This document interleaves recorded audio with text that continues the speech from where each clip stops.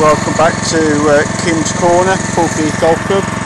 Um, today we're, uh, as you see, uh, on the 18th green there, uh, LM 56 Baroness and Greens mower, pedestrian. Uh, trying to catch up with the work we should have done last week when it was raining.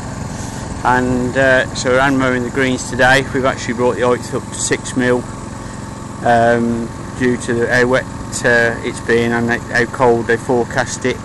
Last year we stayed at 5 mil, but at the moment I've elected to bring them back up to 6 mil. Uh, so it's not doing a, a, bad job at all.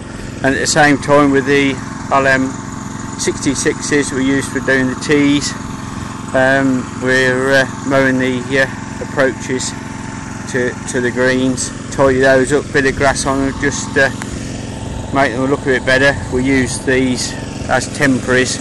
They've got Wintrol cups in over here. We've got a wooden uh, cover over the, the Wintrol cup if uh, we need to use them. We try not to, but there's a, a Wintrol cup, so we're just tidying these up. So uh, it's all uh, all go this afternoon in between uh, the slight frost we had this morning. We're going to get a lot harder one tomorrow.